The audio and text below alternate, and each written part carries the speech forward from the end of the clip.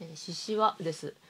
えー、節本とも呼ばれているようです。浅草の花街に私はいるんですけど浅草では獅子輪って言ってます。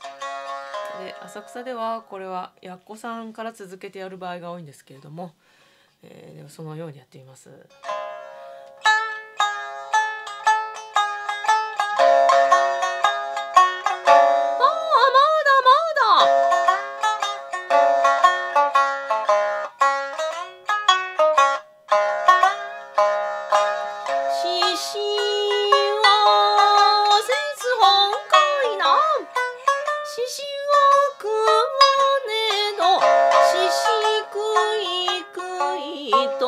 雨やあ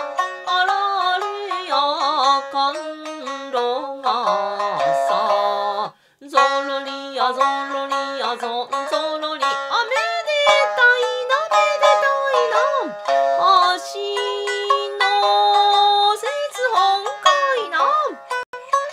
の欄干に腰打ちかけて向こうはるかに見渡せば弁天松島小松島あさてキュッキュッとたったわりゃなんじゃあれかいなあれかいなあさて昔昔その昔あさてずっと昔の昔黒節本海南黒本義経様は静か御前を連れて逃げ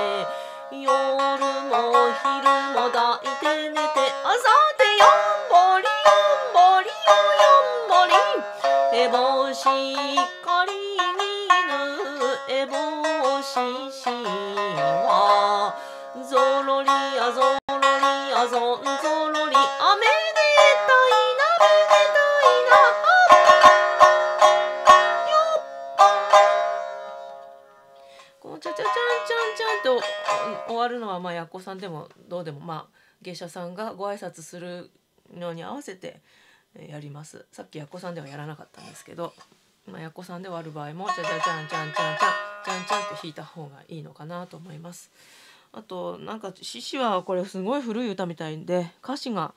いろいろあります。うんなんか甘露傘とか甘露梅とかいうところもあるみたい。ちょっと古い言葉すぎていろんな解釈があって意味がもう今はわからないところいっぱいあるんですけどあとこの「節本海な」とかこのこのカッコンとか全部自分で言いましたけどカッコのところは踊ってる人が言ってえっと例えば「橋の」って伸ばして「節本海な」っていうふうにあの三味線の人が言うんですよね。で、えーあとこう「めでたいなめでたいな」とかこう芸者さん可愛い子ちゃんたちが「昔